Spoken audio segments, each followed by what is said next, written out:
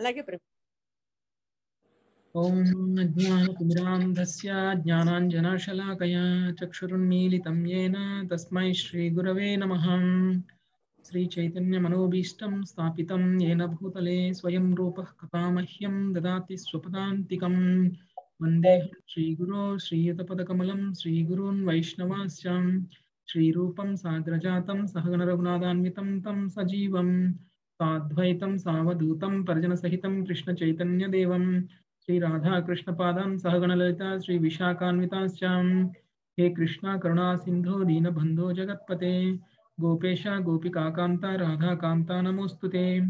सप्तकाञ्चन, गौराङ्गी, राधे, बृन्दावनेश्वरी। वृषभानुसुते देवी, प्रणमामि हरिप्रिये। वाञ्छाकल्पतरुभ्यश्च, कृपा सिन्धुभ्य एव पतितानां पावनेभ्यो वैष्णवेभ्यो नमो नमः। नमो ॐ विष्णुपादाय कृष्णप्रेष्ठाय भूतले श्रीमते भक्तिवेदान्तस्वामिन् इति नामिने।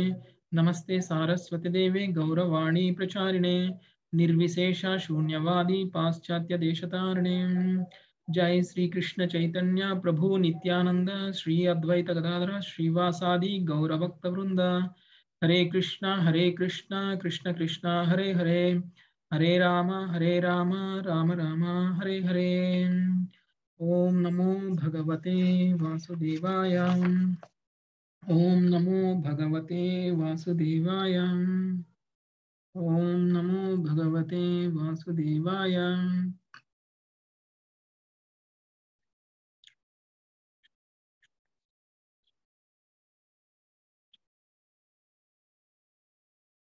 హరే కృష్ణ. మనము ఇప్పటి వరకు ఆ, ధ్రువుడు యక్షులతోటి చేసినటువంటి యుద్ధం చూసాము ఆ తర్వాత మనువు వచ్చేసి ధ్రువుణ్ణి చేస్తున్నది కరెక్ట్ కాదు ఇంకా ఆపాలి అని చెప్పేసి సలహా ఇవ్వడం చూసాము ఆ తర్వాత యక్షులకి అధిపతి అయినటువంటి కుబేరుడు ధ్రువుడి ముందు ప్రత్యక్షమయ్యి ధ్రువుడితో మాట్లాడినటువంటి మాటల్ని చూసాము సో ఏమన్నారండి? సో నువ్వు నీ కొడు నీ తమ్ముణ్ణి కోల్పోయాను నీ సోదరుణ్ణి కోల్పోయాను అందుకు ప్రతీకారం తీర్చుకోవాలి అనేటువంటి భావనలో ఉండకు. నీ యొక్క తమ్ముణ్ణి కోల్పోవడం అనేది ఆయన కర్మానుసారంగా జరిగింది. తర్వాత యక్షుల్ని చంపడం కూడా అది కూడా వాళ్ళ యొక్క కర్మానుసారం జరిగింది. వీటన్నిటికీ నేను కారణము అని నువ్వేం భావించకు. సో అలా నువ్వు చింతించి నువ్వు ఇదవ్వాల్సిన పని లేదు. నువ్వు భగవంతుడి వైపు ఒక్కసారి చూడు పరమాత్మ వైపు చూడు. సో అంతే అప్పుడు నీకు అన్ని జ్ఞానాలు అన్ని అవగతమవుతాయి. ఈ సృష్టి స్థితి లయ అంతా చేసేది కూడా భగవానుడే. కాబట్టి నువ్వు అనవసరంగా దాని గురించి ఆలోచించకు. నువ్వు ఐదేళ్ళ వయసులో ఉన్నప్పుడే నువ్వు భగవంతుడిని ప్రసన్నం చేసుకొని భగవంతుడి యొక్క ఆశీస్సులు పొందినటువంటి వాడివి నువ్వు. కాబట్టి ఇతర దేవతలు ఆటోమేటిక్గా నీకు అందరూ కూడా ఏ కోరిక కావాలన్నా తీర్చేస్తారు. అంటే మనకి ఏదైనా కోరిక ఉండి ఆ కోరిక కోసం దేవీ దేవతల వరకు వెళ్ళాల్సినటువంటి అవసరం లేదు. ఒకవేళ నువ్వు కృష్ణ భగవానుని గనక నువ్వు ప్రార్థన చేసి కృష్ణ భగవానుని గనక ప్రసన్నం చేసుకోగలిగితే ఇతర దేవీ దేవతలందరూ కూడా ఆటోమేటిక్గా మన కోరికలు తీర్చేస్తారు. అనడానికి ఈ యొక్క కుబేరుడు మాట్లాడినటువంటి మాట. లాస్ట్లో ఏమన్నారండి? మీరు పద్మనాభుడవగు దేవదేవుని దివ్యమగు సేవలో నీవు సిద్ధ స్థిరముగా నెలకొని ఉంటివి అంటే భగవంతుడి యొక్క సేవలో నువ్వు స్థిరంగా నెలకొని ఉన్నావు. అందుకని నా నుండి సమస్త వరదానములు పొంద నీవు అర్హుడవై ఉన్నావు. అంటే కుబేరుడికి ఏం పూజ చేయలేదు. చేసింది పద్మనాభుడికి. సో పద్మనాభుడికి పూజ చేస్తే కుబేరుడు ఏమంటున్నాడు? ఆయన నువ్వు ప్రసన్నం చేసుకున్నావు కాబట్టి నా నుంచి కోరిక పొందడానికి నువ్వు అర్హుడు అయిపోయావు అనేటువంటి విషయం చెప్తున్నారు. అంటే దేవీ దేవతల నుంచి కోరికలు పొందడానికి మనకు అర్హత ఎప్పుడు వస్తుంది అంటే మనం భగవాన్ని సేవిస్తే వస్తుంది అనేటువంటి విషయం ఇక్కడ తెలిసింది ఇది కుబేరుడు కూడా అదే విషయాన్ని ఇక్కడ తెలియజేశారు. అంతవరకు కుబేరుడు మాట్లాడారు. మాట్లాడి అక్కడి నుంచి వెళ్ళిపోయారు. సో ఆ తర్వాత ఇంకా ఏం జరిగింది అనేటువంటిది ఈ రోజు నుంచి చూద్దాం. మైత్రేయ ఉవాచ. మైత్రేయ ఉవాచ. రాజరాజేన పరాయ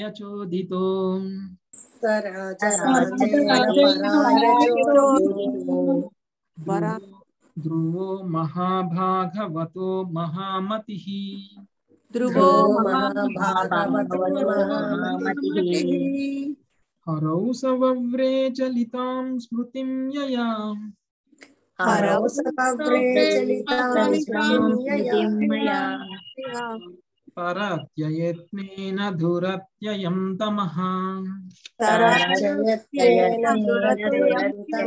తమః మైత్రేయుడు ఇట్లు పలికెను. మిథురా యక్షరాజుకు కుబేరుడు వరమును అడగమని పలికినప్పుడు మహామతియును భాగవతోత్తముడును ఒక ధ్రువుడు తనకు దేవదేవుని ఎందు అచంచలమగు విశ్వాసము స్థిరమగు స్మృతి కలగవలనని ప్రార్థించను. ఏలైనా అన్యులకు దుస్తరమైనటువంటి భవసముద్రమును మనుషుడు ఆ రీతిని అతి సులభముగా దాటగలుగుచున్నాడు. సో మనలాంటి వాళ్ళకి కష్టమైనటువంటి భవసముద్రాన్ని దాటడం అనేది మనలాంటి వాళ్ళకి చాలా కష్టం. కానీ అలాంటిది మనిషి ఈ ఈజీగా దాటగలుగుచున్నాడు. భవసముద్రమును మనుషుడు ఆ రీతిని సులభంగా దాటగలుగుతున్నాడు ఏం చేస్తే మనం ఈ భవసముద్రాన్ని ఈజీగా దాటగలము? అది నాకు ఇవ్వు అది ఏమిటి? అని అంటే అచంచలమైనటువంటి విశ్వాసము స్థిరంగా స్మృతి భగవంతుడి మీద అంటే ఆ దేవాది దేవుణ్ణి మీద విశ్వాసం నాకు పెరగాలి. ఆ దేవాది దేవుణ్ణి ఎప్పుడూ నేను గుర్తుంచుకునే విధంగా ఉండాలి. అలాంటి వరం నాకివ్వు. ఆ వరం వల్ల నేను ఈ దుస్తరమైనటువంటి భవసముద్రాన్ని ఈజీగా దాటగలను అనేటువంటి విషయం చెప్తున్నారు అనమాట అంటే శుద్ధ భక్తులు కోరుకునేటువంటి కోరిక అలా ఉంటుందండి. శుద్ధ భక్తులు భగవంతుణ్ణి ఎప్పుడూ నేను మర్చిపోకుండా ఉండాలి. భగవంతుని మర్చిపోకుండా ఉండడం కోసం నాకు శుద్ధ భక్తుల సాంగత్యాన్ని ఇవ్వు. మళ్ళీ నాకు ఆ భగవంతుని మీద విశ్వాసం పెరిగేలా చూడు అని కోరుకుంటాడు. సో అదే ఇక్కడ ఈయన కూడా కోరుకున్నాడు. అంటే మనం దేవీ దేవతల దగ్గరికి వెళ్ళి కోరుకోవాల్సింది భౌతికమైనటువంటి కోరికలు కాదు. ధ్రువుడు అలా కోరుకోలేదు. సో భౌతికమైన కోరికలు కోరొచ్చు కానీ అవి అశాశ్వతము అనేటువంటి విషయం మనం తెలుసుకోవాలి. సో అలాంటి అశాశ్వతమైనటువంటి కోరికల్ని కోరుకుంటే మనము అవకాశాన్ని చేజార్చుకున్నట్టు ఒక గొప్ప అవకాశాన్ని చేజార్చుకున్నట్టు అలా అశాశ్వతమైనటువంటి కోరికలు పోకుండా శాశ్వతంగా మనం భగవద్ధామంలో ఉండగలిగేటట్లుగా మనకు కోరికలు ఉండాలి. వేదానుష్ఠాన పరాయణుల అభిప్రాయమును అనుసరించి ధర్మార్థకామ మోక్షముల దృష్ట్యా వరదానములు పెక్కు రకములుగా ఉన్నవి. ఈ నాలుగు రకముల వరదానములు చతుర్వర్గములు అనబడును. ఈ నాలుగింటిలో భౌతిక జగమనందు మోక్షము అత్యున్నతమైనదిగా పరిగణింపబడేది. అవిద్యను దాటగలిగినట్లు చేయునదియే అత్యున్నతమగు పురుషార్థము అంటే మానవుని యొక్క మానవునికి వరదానం. కానీ అట్టి అత్యున్నతముగు పురుషార్థము అంటే మోక్షమును కూడా అతిశయించినట్టు వరమును ధ్రువుడు కోరాను. దేవదేవుని పాదపద్మములను తాను నిరంతరము స్మరించవలనని వరమును అతను కలి అడిగాను. అట్టి జీవన స్థితి పంచమ పురుషార్థము అనబడిన. భక్తుడు పంచమ పురుషార్థ స్థితికి అరుదించినప్పుడు నాలుగవ పురుషార్థము ముక్తి అతనికి తుచ్చముగా ఆగును. ఈ సందర్భమున శ్రీ ప్రబోధానంద సరస్వతి తెలిపినది ఏమనగా భక్తునికి మోక్షము ననకప్రాయమైనది స్వర్గాది భోగముల విలువ రహితమైనటువంటి ఆకాశ పుష్పముల వంటివి. ఇంద్రియ నిగ్రహమునకై యోగులు అపరిమితముగా యత్నించరు కానీ భక్తులకు ఇంద్రియ నిగ్రహం ఏమాత్రము కష్టము కాదు. ఇంద్రియములు సర్పములు పోలినటివి కానీ భక్తుని విషయంలో ఆ సర్పములు విషకో విషకోరలు పెరికివేయబడి ఉండును. ఆ విధముగా శ్రీ ప్రబోధానంద సరస్వతి ఈ ప్రపంచంలోని అన్ని విధములకు వరదానములను విశ్లేషించి చివరికి స్పష్టంగా తీర్మానించినది ఏమనగా విశుద్ధ భక్తులకు అవన్నీను అర్థరహితములు. భక్త ధ్రువుడు కూడా మహాభాగవతుడు. అతని బుద్ధి ఘనమైనది. మనుజుడు బుద్ధి కుశలత కలిగినప్పుడే భక్తి యోగమును చేపట్టగలడు. కనుక ఉత్తమ శ్రేణి భక్తుడు సహజముగానే ఉత్తమ శ్రేణి బుద్ధిమంతుడై ఉండడు కనుక భౌతిక జగములోని ఏ విధమైన కోరిక ఎందునూ అతను అనురక్తిని కలిగి ఉండడు. దేవతల కోశాధిపతి రారాజునైనటువంటి కుబేరుడు ఆ ధ్రువుడుకు వరమును వసగగోరెను. ఈ భౌతిక జగమునందు జనులకు అపారముగు సంపదలను వసుగటయే కుబేరుని యొక్క కార్యము. కుబేరుని అనుగ్రహము లేనిది ఎవ్వడను రాజు కాలేడు. కనుక అతడు రారాజు రారాజని వర్ణించబడినాడు. అటువంటి రారాజే స్వయంగా ఎంతటి సంపత్తులనైనా ధ్రువునకు వసగా సంసిద్ధుడయ్యను. కానీ ధ్రువుడు వాటిని అంగీకరించలేదు. కనుకనే అతడు మహామతి అంటే వివేకవంతుడు బుద్ధిశాలి అని వర్ణింపబడినాడు. సో ఎవరికైనా సరే కోరికలు అనేటువంటివి ఏ విధంగా క్లాసిఫై చేయొచ్చు అంటే ధర్మ అర్థ కామ మోక్షము అనేటువంటివి చతుర పురుషార్థములు. ఈ ఈ పురుషార్థములు అంటే ఈ నాలుగు పురుషార్థములు అనమాట ఈ నాలుగు పురుషార్థంలో ఏదైనా కోరుకోవచ్చు. ఏది కోరుకున్నా కానీ అది భౌతికమే. అలా కాకుండా అంటే చివరికి అంటే ఇప్పుడు ఈ భౌతిక లోకంలో అత్యుత్తమ పురుషార్థం ఏమిటి అని అంటే మోక్షం. అంటే ఈ నాలుగు పురుషార్థాల్లో ఉన్నటువంటిది మోక్షం ఏదైతే ఉందో అది అత్యుత్తమ పురుషార్థం. ధర్మ అర్థ కామ వద్దు. మోక్షం కావాలి అని కోరుకుంటే ఒక లెవెల్లో మంచి ఉత్తమ స్థితిలో ఉన్నట్లే. కానీ ఒక శుద్ధ భక్తుడు కోరుకునేటువంటి కోరిక మోక్షాన్ని కూడా కోరుకోడు. ఐదవ పురుషార్థాన్ని కోరుకుంటాడు. అది ఏమిటి అంటే భగవంతుణ్ణి ఎప్పుడూ మర్చిపోకుండా భగవంతుడి యొక్క సన్నిధిలో ఉండే విధంగా భగవంతుడికి సేవ చేసే విధంగా ఉండడం. ఇది ఐదవ పురుషార్థం. ఈ ఐదవ పురుషార్థాన్ని ఓన్లీ భక్తుడు మాత్రమే అర్థం చేసుకోగలడు భక్తుడికి మాత్రమే తెలుస్తుంది. అందుకని భక్తుడు దాంట్లోనే తృప్తి పడతాడు. మోక్షం చే మోక్షం వచ్చినా కానీ ఇక్కడ దృష్టిలో ఇక్కడ మన భౌతిక జగత్తు దృష్టిలో మోక్షం అంటే నిరాకారంలో లీనమవడం. సో మోక్షం వచ్చినా కానీ భగవంతుణ్ణి మర్చిపోతాం. మోక్షం వచ్చినా కానీ భగవత్సేవ ఆగిపోతుంది. అంటే ఇప్పుడు నిరాకారవాదులకి లేకపోతే ఇలా నిరాకార బ్రహ్మజ్యోతిలో లీనం అవ్వాలి అని కోరుకునేటువంటి వాళ్ళ యొక్క మోక్షం యొక్క మీనింగ్ ఏమిటి అని అంటే మోక్షాన్ని పొందడానికి భగవంతుడికి భక్తియుత సేవలు చెయ్యాలి. భక్తియుత సేవలు చేస్తే భగవంతుడు మనకి మోక్షాన్ని ఇస్తున్నాడు. మనం మోక్షాన్ని సాధిస్తే ఇంకా మనకి భక్తియుత సేవలు అవసరం లేదు. అంటే ఒక్కసారి మనం నిరాకార బ్రహ్మంలోకి వెళ్ళిపోయాము అంటే ఇంకా మనం చేయాల్సినటువంటి భక్తియుత సేవలు ఏమి ఉండవు. అంటే మనం చేసేటువంటి భగవంతుడి యొక్క సేవలు కూడా ఆగిపోతాయి. ఇది వాళ్ళ యొక్క ఉద్దేశం. కానీ అది నిజమైనటువంటి మోక్షం కాదు. భగవంతుడు వదిలేసి భగవంతుడి సేవలు వదిలేసి పొందేటువంటి మోక్షం అవసరమా? సో అలాంటి మోక్షంలో ఆనందాన్ని భక్తుడు అనుభవించడు. అందుకనే మోక్షము అనేటువంటిది భక్తుడి విషయంలో నరకం. అందుకని భక్తుడు భగవంతుడి యొక్క సన్నిధిని మాత్రమే కోరుకుంటాడు. అది పంచమ పురుషార్థం అని అంటారు దాన్ని. సో అదే విషయాన్ని మనకి ప్రబోధానంద సరస్వతి కూడా మనకి తెలిపారనమాట మోక్షం అనేది నరకప్రాయమైనది. ఎందుకంటే మిగిలినటువంటి స్వర్గాది భోగాలు కూడా విలువరహితమైనటువంటివే ఎందుకు అంటే భగవంతుడి యొక్క సేవ ముందు ఇవన్నీ కూడా తుచ్చమైనవి అని మనం భక్తుడుగా అగ్రసరుడైనప్పుడు తెలుసుకోగలుగుతాము అని చెప్తున్నారు. అలాంటి వాడిని ఉత్తమ శ్రేణి భక్తుడు అని అంటారు. ధ్రువుడు కూడా అదే కోరుకున్నాడు. అందుకనే ఆయన్ని మహామతి అన్నారు. మహామతి అంటే బుద్ధిశాలి అని. తస్య ప్రీతేన మనసా తాం తద్వైడ ఇడస్తతః.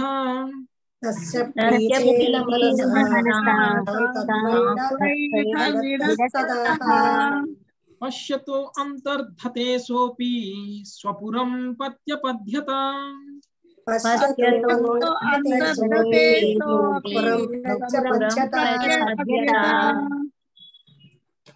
ఇడావిడాసుతుడకు కుబేరుడు మిక్కిలి ప్రసన్నుడై వాంఛిత వరమును ధ్రువులకు ప్రీతితో వసగను పిమ్మట అతడు అచటి నుండి అంతర్ధానము చెందగా ధ్రువుడును స్వపురమునకు జనను. అంటే ఒక భక్తుడు ఒకవేళ దేవీ దేవతలను కనుక ఆశ్రయించి ఉంటే ఒక భక్తుడు దేవీ దేవతల నుంచి ఒకవేళ వరం కోసుకోవాల్సినటువంటి పరిస్థితి కనుక వచ్చి ఉంటే ఆ భక్తుడు ఆ దేవీ దేవత నుంచి ఏం కోరుకోవాలి అంటే భగవంతుడి యొక్క సన్నిధిని కోరుకోవాలి భగవంతుడిని ఎప్పుడూ మర్చిపోకుండా ఉండేటువంటి వరాన్ని కోరుకోవాలి అలాంటి వరాలు కూడా మనకి దేవీ దేవతలు ఇవ్వగలరు.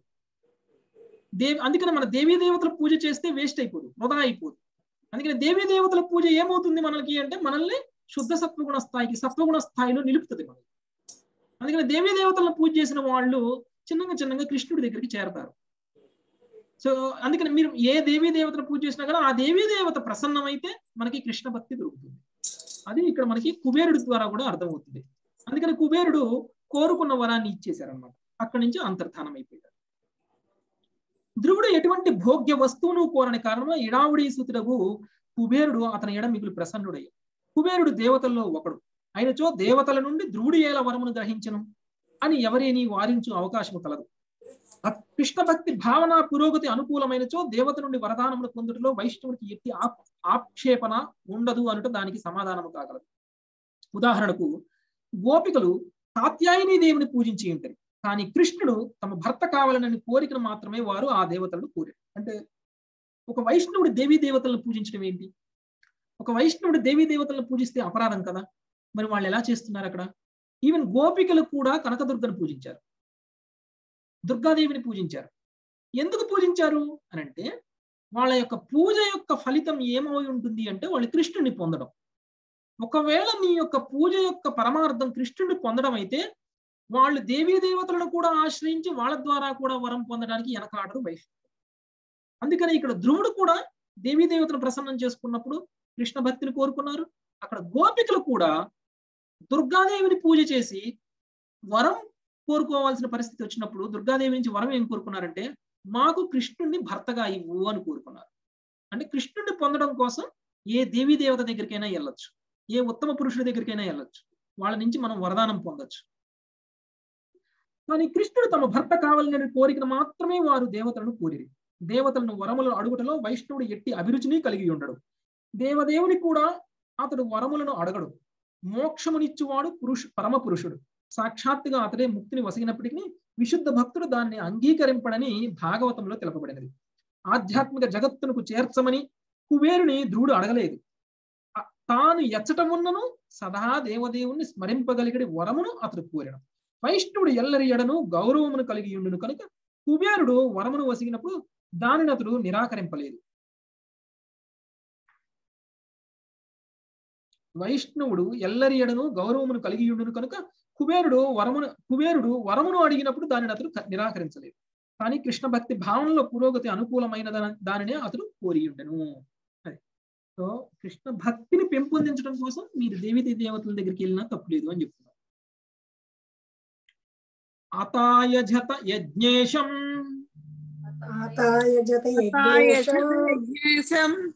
क्रतुभिर्भू क्रतुभिर्भूरिदक्षिणै। कर्म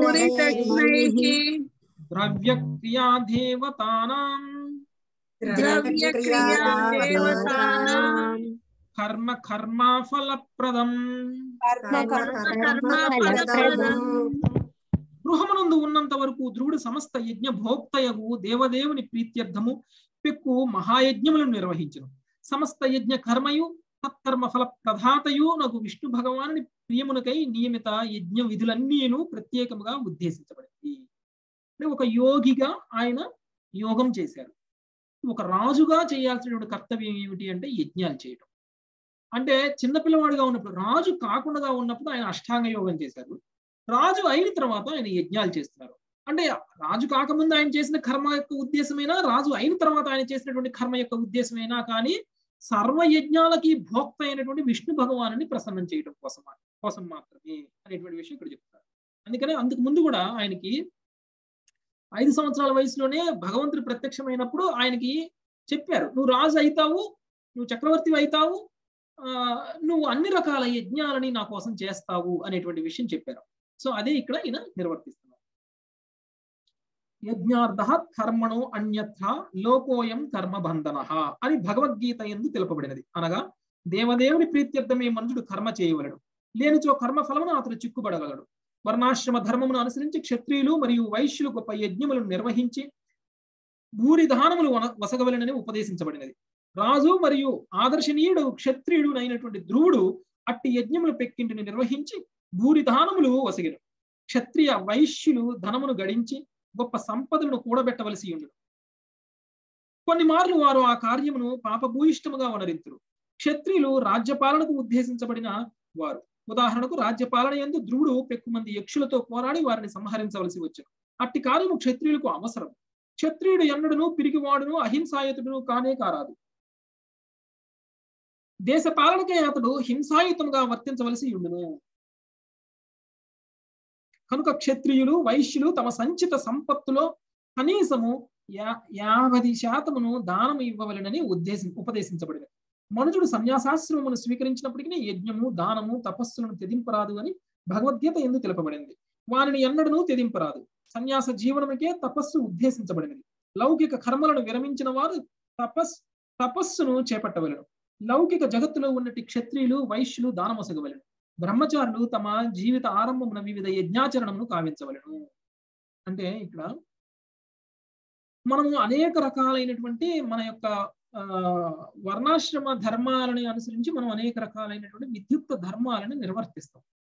వైశ్యులైతే క్షత్రియులైతే బ్రాహ్మణులైతే శూద్రులైతే మరి ఆ విద్యుక్త ధర్మాలను నిర్వర్తించేటప్పుడు కొంతవరకు పాపం కూడా పొందేటువంటి అవకాశం ఉంది మరి ఆ పాపం నుంచి రక్షించబడడానికి మరి ఏమిటి? ఒకవేళ ఆ పాపం నుంచి రక్షించబడేటువంటి విధంగా మనం కనుక కర్మలు చేయకపోతే మనం కర్మబంధనంలో చిక్కుపోతాం అలా కర్మబంధనంలో చిక్కుకుపోకుండా పాపం నుంచి రక్షింపబడేటట్టుగా మనం కర్మలు చేయాలి అంటే మనం మనం సంపాదించిన దాంట్లో యాభై శాతం భగవంతుడికి అర్పించాలి. అలా అర్పించి కనుక మనం మన కర్మలను చేస్తే అంటే దాన ధర్మాలు చేయాలి. భగవంతుడు అంటే ఈ దాన ధర్మాలు అంటే బయటికి తీసుకెళ్ళి ఎవరో తెలియని వాళ్ళకి కృష్ణ భక్తి లేని వాళ్ళకి ఇవ్వడం అని కాదు. ఇక్కడ కృష్ణుడు ద్వారా చేయొచ్చు కృష్ణ సేవకు ఉపయోగించవచ్చు అలా చేస్తే అప్పుడు ఆయన యొక్క పాప కర్మలన్నీ కూడా ఆ, నశింపబడతాయి. సో అది ఇక్కడ మనకి చెప్తున్నారు ఇప్పుడు క్షత్రియుడు ఉన్నాడు అనుకోండి. క్షత్రియ కర్మ అనుగుణంగా ఆయన యుద్ధం చేయాలి. ఇప్పుడు ధ్రువుడు అదే చేశాడు. యుద్ధం చేసి ఎంతో మంది యక్షుల్ని చంపేశాడు.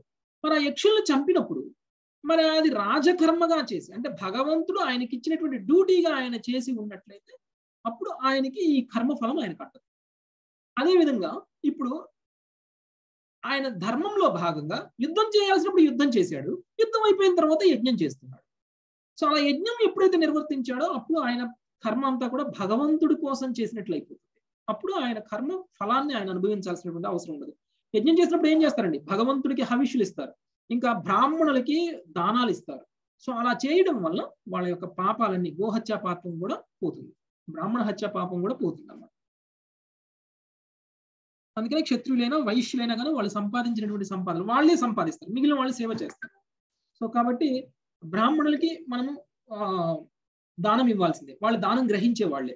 క్షత్రువులైనా దానం ఇస్తారు వైశ్యులైనా దానం ఇస్తారు. కాబట్టి వైశ్యులైన వైశ్యులైనా క్షత్రువులైనా ప్రత్యేకించి మనం చూసుకోవాల్సింది ఏమిటి అంటే మనం సంపాదించిన దాంట్లో కొంతనైనా కానీ బ్రాహ్మణులకి దానం ఇవ్వాలి.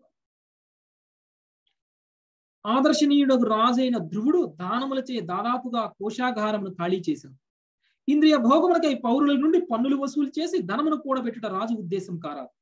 పౌరుల నుండి వసూలు చేసినటువంటి పన్నులతో రాజులు తమ ఇంద్రియ భోగమును ఆరంభించిన వాటి నుండి ప్రపంచ రాచరిక వ్యవస్థ వినష్టమైనది.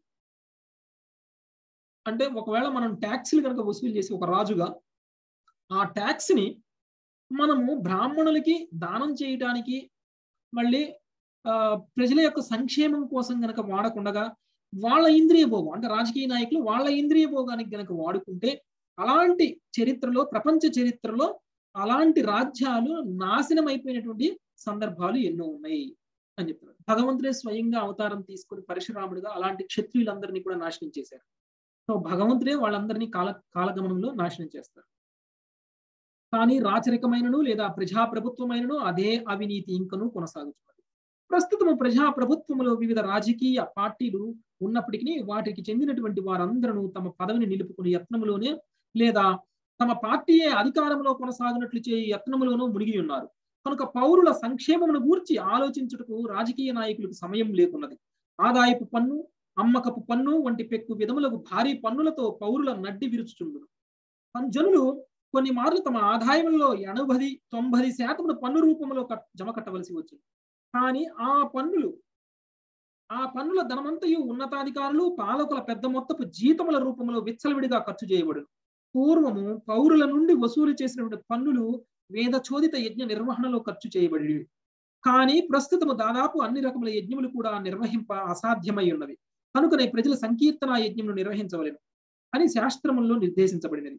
ఏ గృహస్థుడైనను ఈ సంకీర్తన యజ్ఞమును ఎటువంటి ఖర్చు లేకుండా నిర్వహించవచ్చు కుటుంబ సభ్యులందరూ ఒక చోట కూర్చుండి చప్పట్లు చరుచుచు హరే కృష్ణ మహామంత్రమును కీర్తించవచ్చు.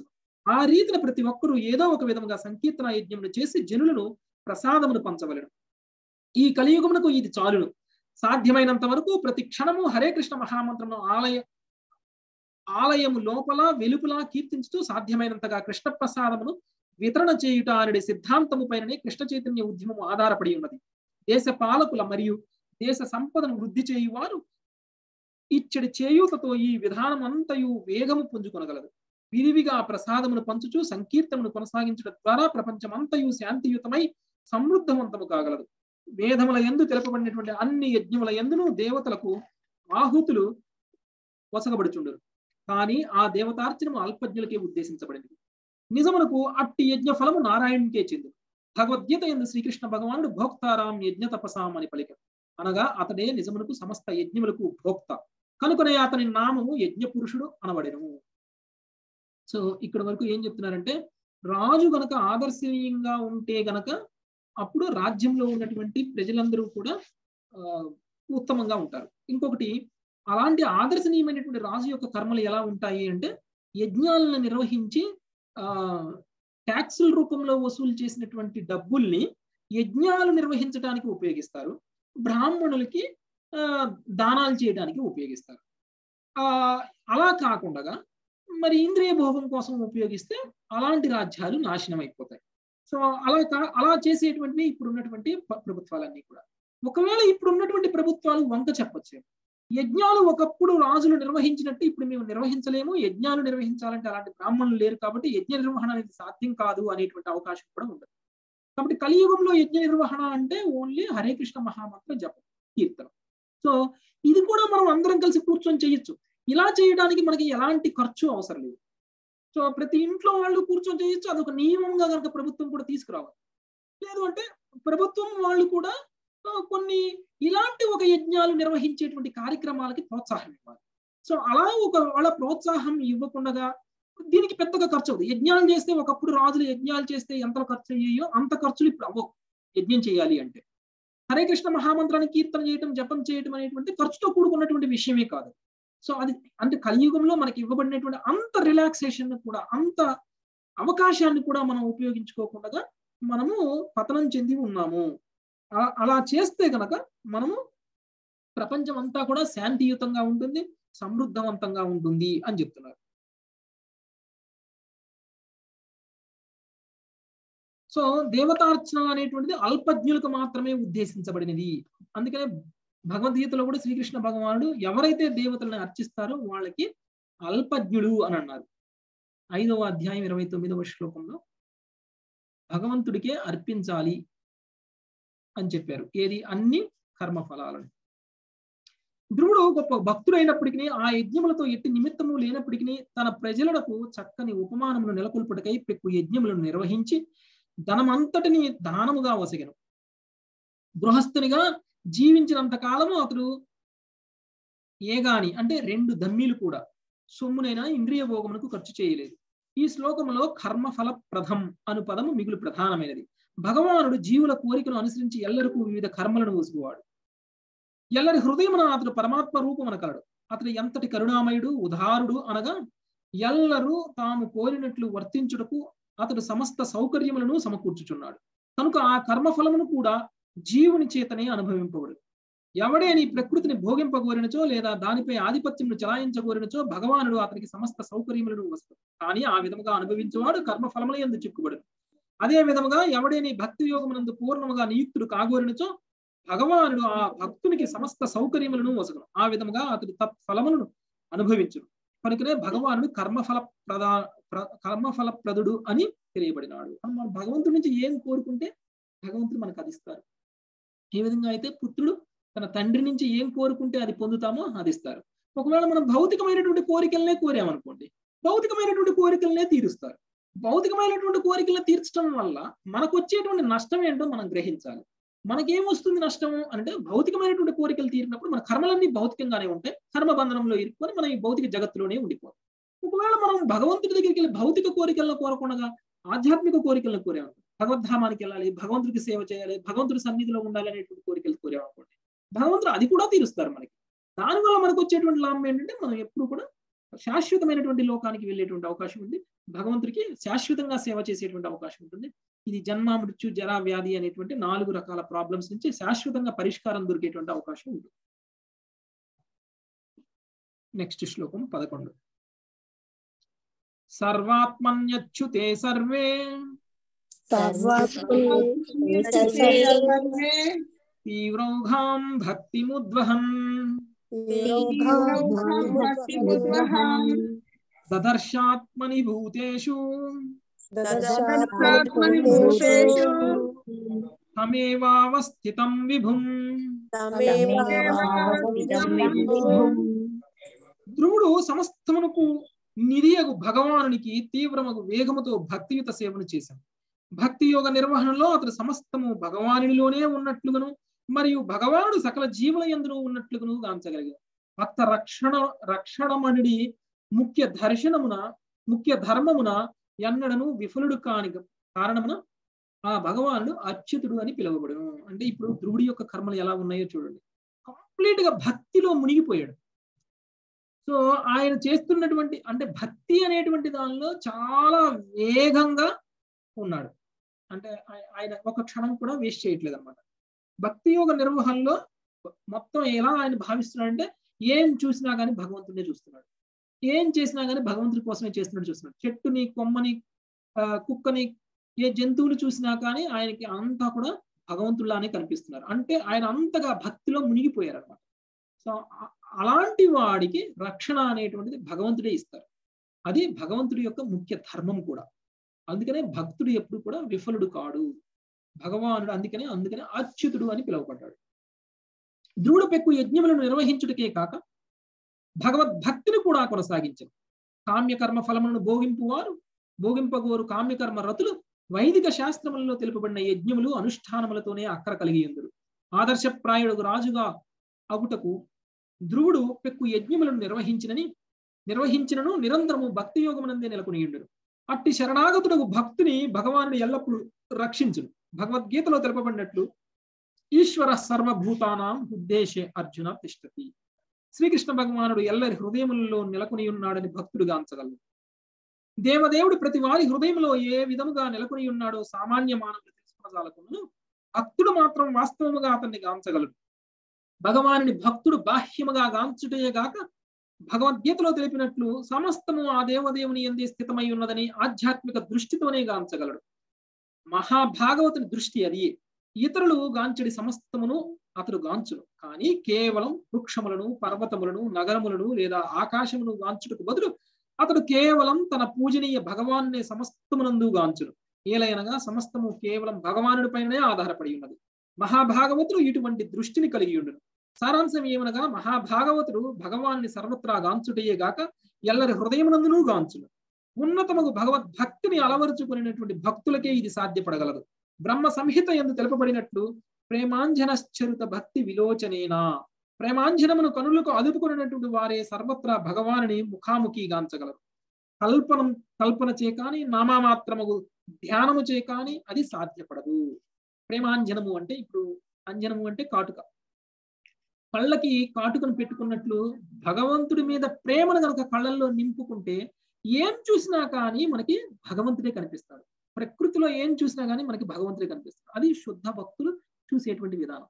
అందరూ చూస్తారు మనము చూస్తాం. తేడా ఏమిటి అంటే శుద్ధ భక్తుడు ఎలా చూస్తాడు అంటే మొత్తంలో భగవంతుడే ఉన్నాడు ఈ మొత్తం కూడా భగవంతుల్లోనే ఉన్నది అనేటువంటి భావంలోనే ఆయన ఉంటారు. వాళ్ళ హృదయంలో కూడా చూసేటువంటి జీవుడి యొక్క హృదయంలో కూడా భగవంతుడే ఆయన చూస్తాడు అని చెప్తారు.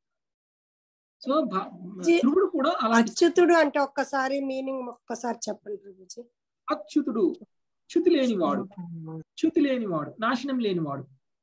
ఓకే.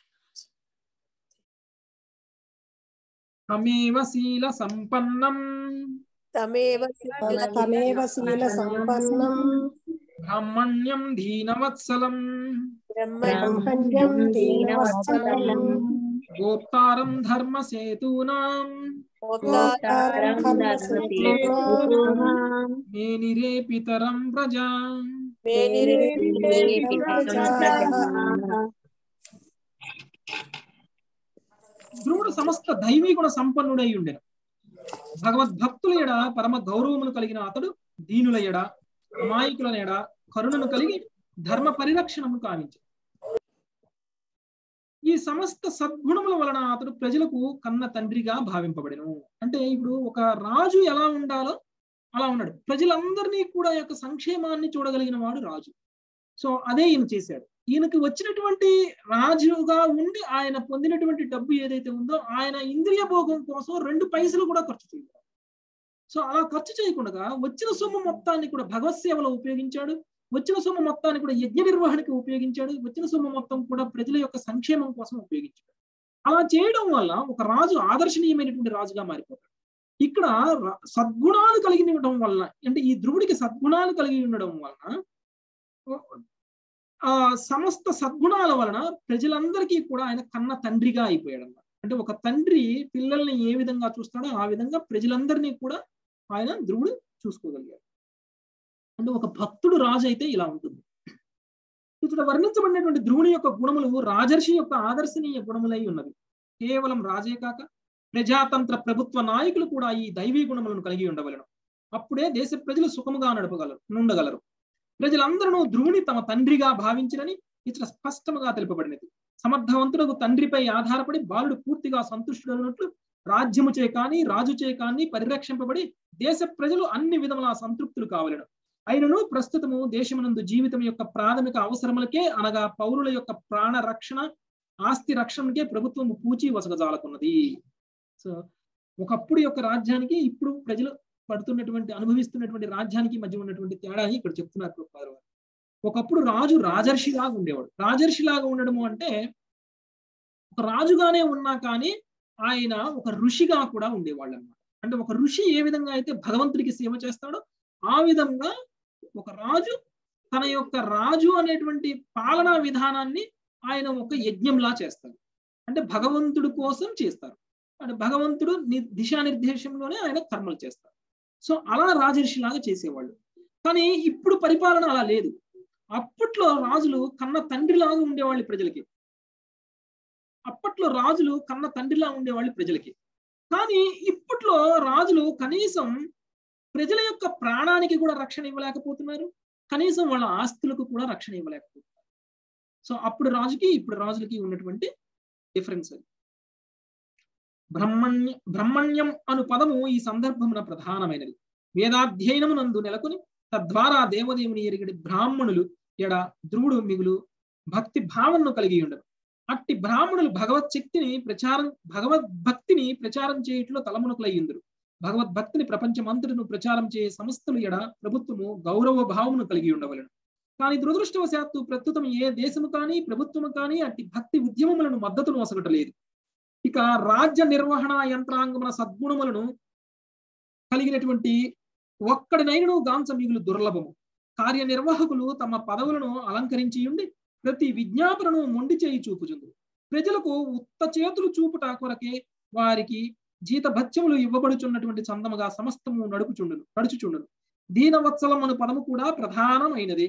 దేశాధినేత దీనుల ఎడ అమిత కరుణామయుడై ఉండవలను. దురదృష్టవశాత్తు ఈ కాలమున దేశ పాలకులు పెద్ద మొత్తంలో జీతభత్యములను పొందుచు తమను పుణ్యాత్ములుగా ప్రదర్శించుకునే కబేళాలను నడుపుటకు అనుమతిస్తున్నారు ఇతర అమాయక జంతువులను వధించబడుచున్నది. ధ్రువుని సద్గుణములను ప్రస్తుత రాజకీయ నాయకుల నాయకుల గుణములతో పోల్చి చూచినచో అసలు వాటి మధ్య పోలికే కనపడదు. రాబో శ్లోకములలో స్పష్టము కానున్నట్లు ధ్రువుడు సత్యయుగము నాటివాడు సత్యయుగమున అతను ఆదర్శనీయుడు రాజుగా ఉండేది కానీ ప్రస్తుత యుగంలో ప్రభుత్వ యంత్రాంగము సమస్త దైవీ గుణములు లోపించి ఉన్నవి. ఈ విషయంలో అన్నింటిలో పరిశీలించవచ్చు ధర్మము ప్రాణము ఆస్తుల పరిరక్షణకై కృష్ణ భక్తి భావన చేపట్టుట కనను జనుడు వేరొక నేడు వేరొక గత్యంతరము లేదు. సో ఇక్కడ ధ్రువుడికి రాజర్షి యొక్క లక్షణాలు ఉన్నాయని ఇంతకుముందు చెప్పారు. ఇంకొకటి బ్రాహ్మణులకి ఎందుకు రాజు ఆ దానం ఇవ్వాలి అని అంటే బ్రాహ్మణులు క్షేమంగా ఉంటే వాళ్ళు భక్తిని ప్రచారం చేస్తారు. సో అలా భక్తిని ప్రచారం చేయడం అనేటువంటిది రాజ్యంలో చాలా అవసరం. అలా ఉంటేనే భక్తుల్ని అంటే దేశ ప్రజలందరినీ కూడా ధర్మ నియమాల ప్రకారం నడిపించేటట్లు సాధ్యమవుతుంది. కానీ ఇప్పుడు దురదృష్టం ఏమిటి అంటే ఇప్పుడు రాజులు వాళ్ళు బ్రాహ్మణుల్ని క్షేమంగా చూడకుండా ఉండడమే కాకుండా కనీసంగా ఇలాంటి ప్రచారం చేసేటువంటి సంస్థలకు కూడా ప్రోత్సాహం ఇవ్వట్లేదు. ఇంకా కానీ వాళ్ళు ప్రోత్సాహం ఇవ్వటం ఇవ్వకపోవడం అటుంచి వాళ్ళ పని వాళ్ళు చేసుకుంటుంటే దానికి కూడా అడ్డంకులు క్రియేట్ చేస్తున్నారు. ఇప్పుడు రథయాత్ర జరుగుతుంది అనుకోండి రథయాత్ర జరుగుతుంది పర్మిషన్ ఇవ్వండి అని కలెక్టర్ దగ్గరికి వెళ్ళి అడిగితే మీరు ఇంతమంది కలిసి రథాన్ని లాగుతూ జగన్నాథుని కనుక రోడ్ల మీద తీసుకెళ్తూ ఉంటే ట్రాఫిక్ ఇబ్బంది అయిపోద్ది జనాలు గొడవలు అవుతాయి అదైతే ఇదైతే అందుకని మీకు రథయాత్రకు పర్మిషన్ ఇవ్వము అని అంటారు. అంటే ప్రభుత్వాలు అలా మారిపోయాయి ప్రభుత్వము అంటే భగవంతుడికి సేవ చేయడానికి అవసరమైనటువంటి ప్రతిదాన్ని అనుమతిస్తూ ప్రజలందరినీ కూడా భక్తి భావంలోకి తీసుకువెళ్ళగలిగేది ప్రభుత్వం. కానీ ఇప్పుడు ప్రభుత్వాలు అది చేయట్లేదు. ఇప్పుడు ఇప్పుడు ఈ యొక్క ఈ యొక్క ధర్మాన్ని నిర్వర్తించటం కోసం అంటే ఈ యొక్క ప్రచార ధర్మాన్ని నిర్వర్తించడం కోసం అవసరమైనటువంటి పరిస్థితులను కూడా క్రియేట్ చేయట్లేదు ప్రభుత్వాలు అని చెప్తున్నారు. అందుకనే ధ్రువుడి యొక్క ధ్రువుడు సత్యయుగం నాటి రాజు మరి కలియుగంలో ఉన్నటువంటి రాజుల్ని ధ్రు ధ్రువుడి సత్యయుగంలో ఉన్నటువంటి రాజు అయినటువంటి ధ్రువుడితో కంపేర్ చేస్తే అనేక పోలికలు అన్ని అనేక డిఫరెన్సెస్ అనేవి ఉంటాయి. అసలు ధ్రువుడితోటి పోల్చటానికే అవ్వదు అనేటువంటి చెప్తున్నారు. అంటే దైవీ గుణాలు అనేటువంటి ఇప్పుడు రాజుల్లో లేవు. అందుకనే వీళ్ళు కబేళాలకి అనుమతిస్తున్నారు. తర్వాత మద్యం అమ్మడానికి అనుమతిస్తున్నారు. ఆ వ్యభిచార గృహాలకి అనుమతినిస్తున్నారు.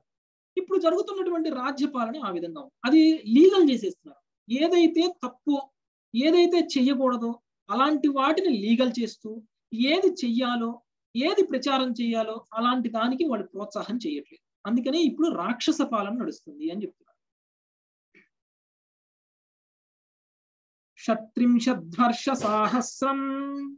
षट्त्रिंशद्वर्षसाहस्रम्। शशाक्षितिमण्डलम् भोगैः पुण्यक्षयं कुर्वन्। भोगैः भोगैर शुभक्षयम्। भोगैर शुभक्षयम्। ధ్రువుడు ఈ లోకమును ముప్పది ఆరు వేల సంవత్సరములు పరిపాలించాడు. పుణ్య ఫలములను భోగము ద్వారాను పాపమును తపస్సు ద్వారాను అతడు క్షయము కావించను అంటే ఆయన మ్యూట్ చేయండి మాతాజీ. ఇప్పుడు ఒక రాజుగా రాజ్యపాలన చేస్తున్నప్పుడు ఆ రాజు కొన్ని పుణ్యాలని చేస్తాడు కొన్ని పాపాలని చేస్తాడు. అయితే ధ్రువుడు పుణ్యాలని చేశాడు పాపాలని చేశాడు. పాపాలు ఏమిటి అని అంటే రాజ్యం సుభిక్షంగా ఉండడం కోసం రాజ్యం క్షేమంగా ఉండడం కోసం అవసరమైతే క్ష- శత్రువులని చంపాలి. శత్రువులు చంపినప్పుడు వచ్చినటువంటి పాపం అయితే అందరినీ మంచిగా చూసుకోవడం వల్ల కలిగినటువంటి పుణ్యం అయితే రెండింటినీ నశింపచేశాడు. అంటే ఇక్కడ మనం అర్థం చేసుకోవాల్సింది ఏంటంటే మనం పాపం చేయకుండా ఉండాలి పుణ్యాలు మాత్రమే చెయ్యాలి అని అనుకోవద్దు. మనము పాపము చేయకూడదు పుణ్యము చేయకూడదు. అంటే చెయ్యకూడదు అని కాదు. పుణ్య ఫలము మనం అనుభవించే విధంగా చేయకూడదు పాప ఫలము మనం అనుభవించే విధంగా చేయకూడదు అందుకనే ధ్రువుడు ఏం చేశాడు ఇక్కడ? పుణ్య ఫలాలని పాప ఫలాలని నశింప చేసే విధంగా కర్మలు చేశాడు. ఆయన ఏం చేస్తున్నాడంటే పుణ్య ఫలాలను భోగము ద్వారాను పాప ఫలాలని తపస్సు ద్వారాను క్షయము కావించను అని అంటారు. అంటే ఇప్పుడు ఆయన బ్యాలెన్స్ జీరో అన్నమాట. పుణ్యాలు పాపాలు జీరో అయినప్పుడు మనిషికి ముక్తి వస్తుంది. పుణ్యం ఎక్కువైతే ఉత్తమ లోకాల్లో జన్మ వస్తుంది. పాపం ఎక్కువైతే అధమ లోకాల్లో జన్మ వస్తుంది పుణ్యము పాపము జీరో అయిపోతే భగవద్ధామానికి వెళ్తారు. అంటే ధ్రువుడు భగవద్ధామానికి వెళ్ళడానికి అర్హుడయ్యాడు అన్నమాట సో అది ఇక్కడ చెప్తున్నారు. అది ఎలా ప్రభుజీ? అది పుణ్యము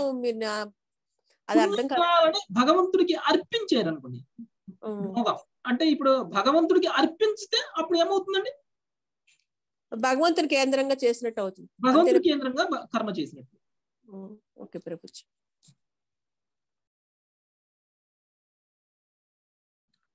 ధ్రువుడు ఈ లోకమును ముప్పది ఆరు వేల సంవత్సరములు పరిపాలించినాడనగా అతడు సత్యయుగము నాటి వాడని భావము. ఏలనగా సత్యయుగంలో జనులు ఒక లక్ష సంవత్సరముల కాలం జీవించడు వారు. తదనంతర యుగమును త్రేతాయుగమున జనులు పదివేల సంవత్సరములు జీవించారు. ఆ పిదప ద్వాపర యుగమున జనులు వెయ్యి సంవత్సరముల కాలం జీవించారు. కానీ ప్రస్తుత కలియుగమున ఆయువు నూరు సంవత్సరములు మాత్రమే. యుగములు మారిన కొలది ఆయువు స్మృతి దయ ఇతర సద్గుణములు క్షమముగా క్రమముగా క్షీణించరు. పుణ్యకర్మలు పాపకర్మలు అనొచ్చు కర్మలు రెండు రకములు. పుణ్యకర్మల వలన మనుషుడు అధికతరముగు భోగములను పొందగలడు. కానీ పాపకర్మల వలన అతడు తీవ్రముగు దుఃఖమును అనుభవించవలసి వచ్చింది. ఆయనను భక్తుడు భోగమునందు అనురక్తుడు గాని దుఃఖముచే కలవరపడుట కానీ జరగదు. సమృద్ధవంతముగానున్నప్పుడు ఈ పుణ్యఫలములను నశించుచున్నవి అనుచును. దుఃఖముగా దుఃఖమును అనుభ నందున్నప్పుడు నేను పాప ఫలములను నశించుచున్నవి అని అతడు అనుచుచు అతడు తెలుసుకుని యుండును ఆ విధముగా సుఖ దుఃఖములచే నిమిత్తము లేకుండా అతడు కేవలం భక్తియుత సేవా నిర్వహణనే నిర్వహణనే కోరియుండు భక్తియుత సేవ అన్నది అప్రతిహతముగా ఉండవలెను. అనగా అది సుఖ దుఃఖములచే ఆటంకపడరాదు అని శ్రీమద్ భాగవతంలో తెలుపబడినది. ఏకాదశి నాడు మరియు ఇతర ఉపవాస దినముల ఎందు ఉపవాసం ఉండుట అక్రమ సంబంధము లేకుండుట మత్తు పదార్థములను స్వీకరించకుండుట జూదమాడకుండుట మాంసభక్షం చేయకుండా వంటి తపస్సులను భక్తుడు ఆచరించను. ఈ విధముగా అతడు పూర్వ పాపముల నుండి విముక్తుడగును ఇక పరమ పుణ్య కార్యముగు భక్తియుత సేవలో అతడు నెలకొనుట నె- నెలకొను నెలకొనుగును గనుక ప్రత్యేకముగు యత్నము లేకుండానే జీవితము ఆనందమును అనుభవిస్తుంది అంటే పుణ్యం చేస్తే మనకి సుఖం వస్తుంది. పాపం చేస్తే దుఃఖం వస్తుంది.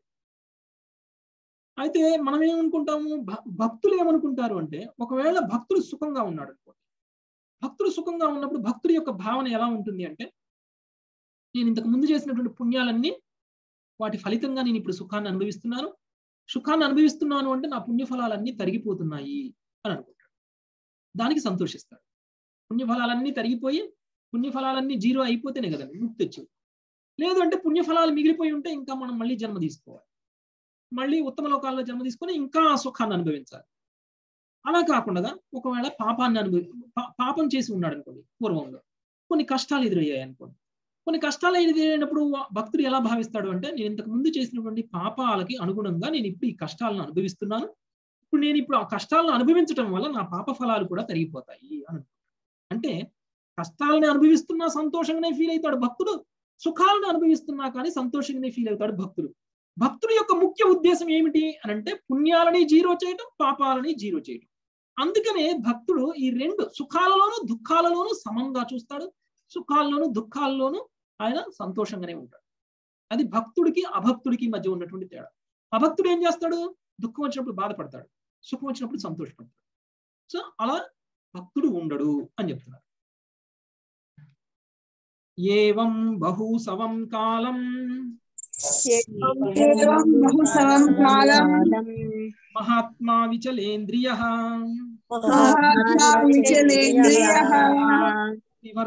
పైకం నీత్వా పుత్రాయాధాన్ నృపాసనం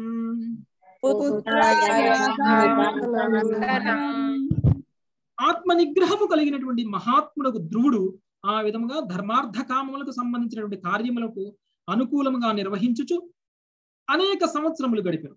పిదప అతడు తన కుమారుడుకు అప్పగించను. సో ధ్రువుడు కూడా ఇంకా వానప్రస్థం సమయానికి వచ్చింది ముప్పై ఆరు వేల సంవత్సరాల పాటు పాలించిన తర్వాత ఇంకా ఆయన ధ్రువుడు అప్పటి వరకు ధర్మార్థ కామాలకు సంబంధించినటువంటి పనులు చేశారు. ఇక అంటే మనిషి కూడా తన జీవితంలో కొంతకాలం వరకు మాత్రమే ఆయన యొక్క విద్యుత్ ధర్మాలను చేయాలి. ఆయన కొడుకు ప్రయోజకుడు అయిపోయిన తర్వాత కొడుకుకి బాధ్యతలను అప్పగించేటువంటి వయసు వచ్చిన తర్వాత ఇంకా కుటుంబం అనేటువంటిది ఆయన మీద ఆధారపడనప్పుడు ఇంకా ధర్మార్థ కామాలను వదిలేసేయాలి. ధర్మార్థ కామాలను వదిలేసి మోక్ష మార్గంలో ప్రయాణం చేయాలి. అలా కాకుండా కాటికి కాలు చాచేంత వరకు కూడా నీకు నాకు ఇంకా ధర్మార్థ కామాల గురించి ఆలోచించాలి అని అనుకుంటే అలాంటి వాడు మోక్షాన్ని ఎప్పటికీ పొందలేడు. మళ్ళీ జన్మ మృత్యువులో పడాల్సిందే. ఎప్పటికీ కూడా వాడికి భగవద్భక్తి అనేది రాదు. అలానే ఇప్పుడు ధ్రువుడి యొక్క తండ్రి అయినటువంటి ఉత్తానపాదుడిని చూసినా కానీ అదే చేశాడు. ఉత్తానపాదుడు కూడా ఆయన రాజ్యాన్ని వదిలేసి వెళ్ళిపోయారు. కనీసం ధ్రువుడికి వివాహం కూడా జరగలేదు అప్పటికి. ధ్రువుడు ప్రయోజకుడు అని ఎప్పుడైతే అనుకున్నాడో ధ్రువుడు రాజ్యాన్ని చక్రవర్తిగా ఏలగలడు అని ఎప్పుడైతే అనుకున్నారో ఇంకా ధ్రువుడి మీద ఎంత ప్రేమ ఉన్నా ఎంత అటాచ్మెంట్ ఉన్నా కానీ దాన్ని కూడా వదిలేశాడు. అంటే ఉత్తానపాదుడికి మోక్ష మార్గం అనేటువంటిది ప్రయారిటీ అయిపోయింది. కుటుంబ ప్రేమ కంటే రాజ్యం కంటే కూడా మోక్షానికి ఏర్పాట్లు చేసుకోవటం అనేటువంటిది ఆయనకి ముఖ్యమైపోయింది. ఇప్పుడు ధ్రువుడు కూడా అదే చేస్తున్నాడు. భగవంతుడు ఆయనకి ఇచ్చినటువంటి వరం ప్రకారంగా ముప్పై ఆరు వేల సంవత్సరాలు పాలించాలి. ముప్పై ఆరు వేల సంవత్సరాలు పాలించేశాడు. ఇంకా ఆయన ధర్మార్థ కామాన్ని వదిలేశాడు. ఇప్పుడు ఆయన మోక్ష మార్గంలో ప్రయాణం చేయడానికి ఆయన రాజ్యాన్ని తన కొడుకుకి ఇచ్చేశారు ధర్మాచరణమునే లౌకిక జీవన పూర్ణత్వము సిద్ధించగలదు. అప్రయత్నముగా అది ఆర్థికాభివృద్ధిని కలుగజేయగలదు. అంతటా కోరికలను తీర్చుకున్నటలో ఎట్టి కష్టము కలగదు. రాజుగా ధ్రువుడు తన స్థితిని కొనసాగించవలసి ఉన్నందున లేనిచో జనసామాన్యమును పాలించుట సాధ్యము కాదు కనుక కార్యమును చక్కగా నిర్వహించవలడు కానీ పుత్రుడు పెద్దవాడై రాజ్యభారమును స్వీకరించుటకు యోగ్యుడైనాడు అని గ్రహించినంతనే ధ్రువుడు రాజ్యపాలనా భారమును అతనికి అప్పజెప్పి సమస్త లౌకిక కర్మల నుండి విరమించను. ఇతను ప్రయోగించబడినటువంటి అవిచలేంద్రియ అను పదము మిగులు ప్రధానమైనది. అనగా ఇంద్రియ వేగము చే అతడు కలత చెందలేదు. అలాగున్నే వృద్ధుడైనప్పటికీ అతని ఇంద్రియ పటుత్వము తగ్గలేదు. ధ్రువుడు ఈ ప్రపంచమునకు ముప్పై ఆరు వేల ముప్పై ఆరు వేల సంవత్సరములు పరిపాలించను. కనుక అతడు తప్పక పండు ముసలయ్యి ఉండవలసి వచ్చు అయి ఉండవచ్చును అని ఎవరైనా తీర్మానించే అవకాశం కలదు. కానీ నిజమునకు అతని ఇంద్రియములు యవనవంతములై ఉండెను. అయినను అతడు ఇంద్రియ భోగమునందు అనురక్తుడు కాకుండా. అనగా అతడు ఆత్మనిగ్రహంను కలిగి ఉంటాడు అతడు తన విధులనన్నింటినీ లౌకిక లౌకిక మార్గములకు తగినట్లుగా చక్కగా చక్కగా నిర్వర్తించు. ఇక్కడ ఇంకొక ముఖ్యమైనటువంటి విషయం మనం అర్థం చేసుకోవాలండి. భగవంతుడు ఆయనకి ఒక వరం కూడా ఇచ్చారు. ధ్రువుడికి తన తండ్రి రాజ్యాన్ని ఇవ్వటమే కాకుండా ధ్రువలోకానికి అధిపతిని చేయటమే కాకుండా ఆయనకి ఇంకొక వరం ఇచ్చారు. నీ ఇంద్రియాలన్నీ బలంగా ఉంటాయి నువ్వు ఎప్పుడు కూడా యవనవంతుడిగా ఉంటావు అని చెప్పారు. అంటే మనం అనుకోవచ్చు. మీరు అన్నారు కరెక్టే రిటైర్మెంట్ వయసు వచ్చేసరికి మనము భౌతికమైనటువంటి కర్మలన్నింటినీ వదిలేసి ఆధ్యాత్మిక కర్మల్ని చెయ్యాలి. అది వానప్రస్థం. మరి అలా చెయ్యాలి అని అంటే ఓకే అంటే మన ఇంద్రియాలన్నిట్లోనూ పట్టు పోయినప్పుడు అంటే మన ఇంద్రియాలన్నిటికీ శక్తి లేనప్పుడు ఆ అప్పుడు ఆధ్యాత్మిక జీవనం సాగించాలి కదా అని అనుకోవచ్చు. ధ్రువుడు కూడా ముప్పై ఆరు వేల సంవత్సరాలు పరిపాలించాడు. ముప్పై ఆరు వేల సంవత్సరాలు పరిపాలించాడంటే పండు ముసలివాడు అయిపోయి ఉండాలి అప్పటికి. అంటే అప్పటికి ఆయన ఇంద్రియాలలో బలం లేదు కాబట్టి ఇంకా ఆ ఇంద్రియాలతో ఎలాంటి ఇంద్రియ భోగము చేయలేడు కాబట్టి అప్పుడు ఆయన రాజ్యాన్ని వదిలేశాడు అనేటువంటి అవకాశం ఉండొచ్చు. కానీ ఇక్కడ మనకి ఏం చెప్తున్నారు అంటే ధ్రువుడికి ఇంద్రియాలు అప్పటికీ కూడా బలంగానే ఉన్నాయి. ఆయన అప్పటికీ కూడా యవనవంతుడిలాగానే ఉన్నాడు. ఇంద్రియ కర్మలు చేయటానికి ఆయనకి శక్తి సామర్థ్యాలు ఉన్నాయి. అయినా సరే ఇంద్రియ కర్మల మీద విరక్తిని కలిగి ఆయన అవన్నీ వదిలేశాడు. అంటే ఇంద్రియాలను ఉపయోగించలేనప్పుడు ఇంద్రియ భోగం వదిలేయటం కాదు ఇంద్రియాలు ఉపయోగించగలిగినప్పుడు కూడా ఇంద్రియ భోగాన్ని వదిలేశాడు త్రుగుడు అనేటువంటి విషయం మనకి ఇక్కడ రుజువు చేయడం కోసం మనకి గుర్తు చేస్తున్నారు అన్నమాట మహాభక్తుల స్వభావమే ఆ రీతిగా ఉండడు శ్రీ చైతన్యుల వారి ప్రత్యక్ష శిష్యు శిష్యులలో ఒకరైనటువంటి శ్రీ రఘునాథ గోస్వామి ఒక అతి ధనవంతుని కుమారుడు. లౌకిక సౌఖ్యమును అనుభవించటంలో అభిరుచి లేకున్నాను ఏదేని కార్యభారమును అప్పచెప్పినప్పుడు దానిని అతడు చక్కగా నిర్వహించడివాడు. బాహ్యమునకు లౌకిక విధులనన్నింటినీ అవసరమైనట్లుగా చేసినప్పటికీ అంతరమున నిన్ను నీ మనస్సును వాటి నుండి పూర్తిగా వేరు చేయవు అని గౌర సుందరుడు అతనికి ఉపదేశించి అట్టి దివ్య స్థితిని కేవలం భక్తులే సాధించగలరు. భగవద్గీతలో వివరించబడినట్లు ఇతరులు తమ ఇంద్రియములను బలవంతంగా నిరోధింప యత్నించుచుండా ఇంద్రియ పటుత్వము కలిగి ఉన్నప్పటికీ భక్తులు వాటిని ఉపయోగింపరు. అత్యున్నతమకు దివ్య కర్మలలో వారు నెలకొని ఉండటమే దానికి కారణం. అంటే భక్తుడైన వాడికి అభక్తుడైన వాడికి ఇంద్రియ విషయాల్లో తేడా చెప్తున్నారు. అభక్తుడైనటువంటి వాడు వాళ్ళ యొక్క ఇంద్రియాలు బలంగా ఉన్నప్పుడు ఆ ఇంద్రియ కర్మలను నిరోధించడం కోసం చాలా బలవంతంగా ఆపుతాడు. అదే భక్తుడైనటువంటి వాడు తన ఇంద్రియాలు బలంగా ఉన్నా సరే బలవంతంగా ఆపడు ఇష్టంగా ఆపుతాడు. ఇంద్రియ కర్మలు అదే భక్తుడికి అభక్తుడికి మధ్య ఉన్నటువంటి తేడా. ఇక్కడ ఇంకొకటి ఒక రఘునాథ రఘునాథ సారీ రఘునాథదాస గోస్వామి గురించి ఇక్కడ చెప్పారు. అంటే గోస్వామిలో ఒక అతను. ఆయన చాలా ధనవంతుడు. ఆయనకి కావాలంటే ఏదైనా పొందొచ్చు. ఆయనకి ఏదైనా వర్క్ ఇస్తే కూడా ఆ వర్క్ను కూడా చాలా క్లియర్గా అంటే ఎఫెక్టివ్గా గా చేసేవాళ్ళు. పనిని కూడా. అంటే మనకు చూడటానికి ఎలా అనిపిస్తుంది అని అంటే భౌతికమైనటువంటి కర్మలు చాలా గొప్పగా చేస్తున్నాడు అన్నట్లే అనిపిస్తుంది. కానీ ఆయన చేసేటువంటి విధానం ఇంటర్నల్గా వేరుగా ఉందన్నమాట.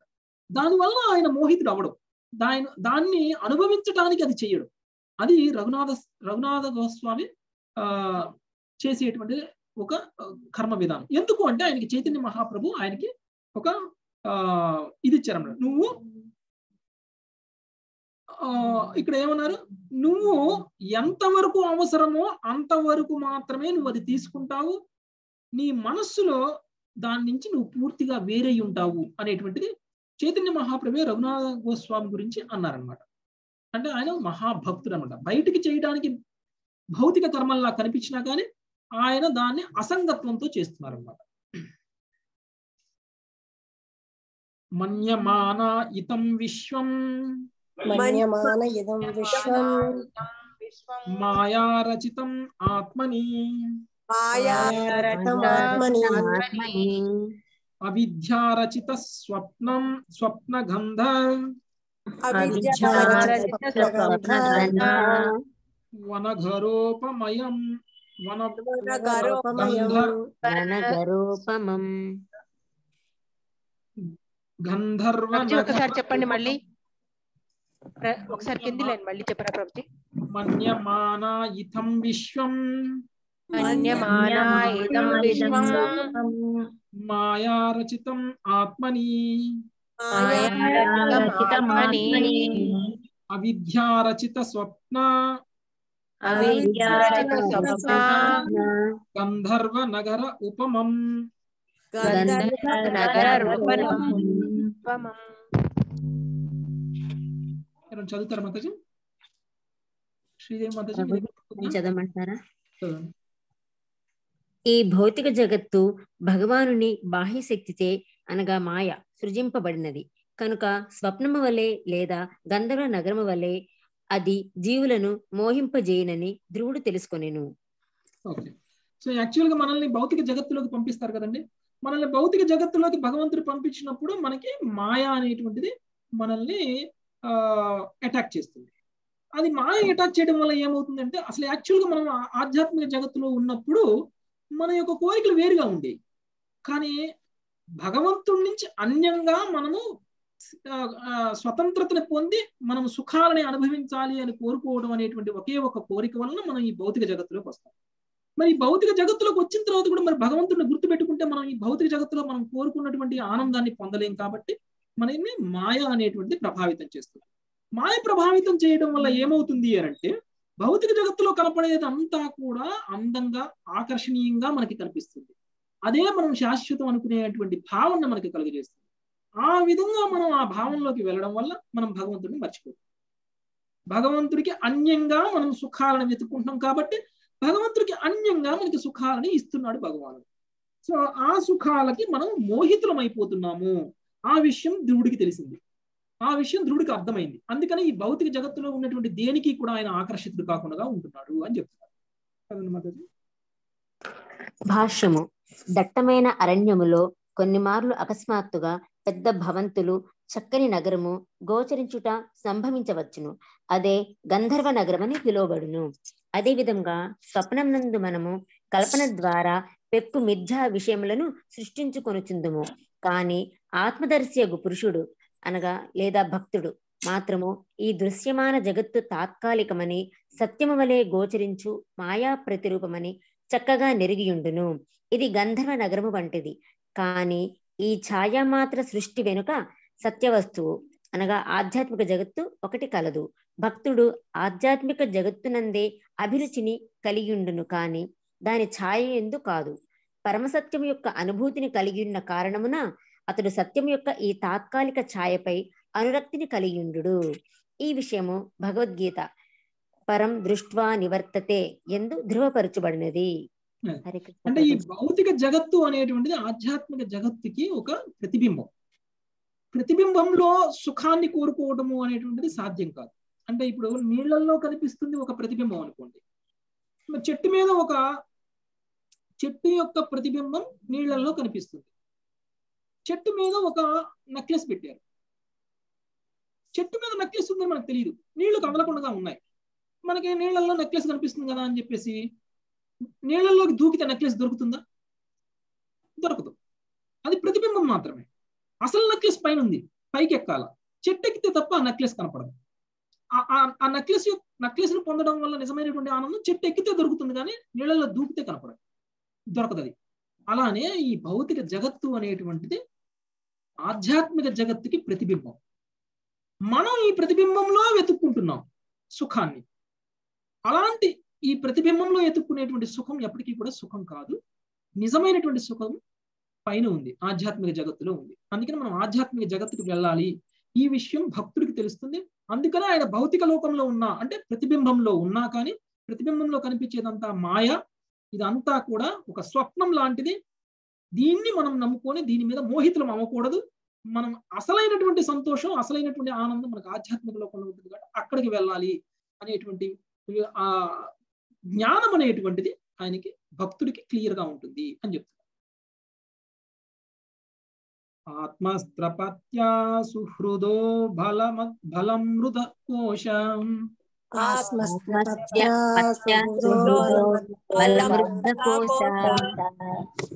मन्तापुरं परिविहार भुवश्चरम्याम्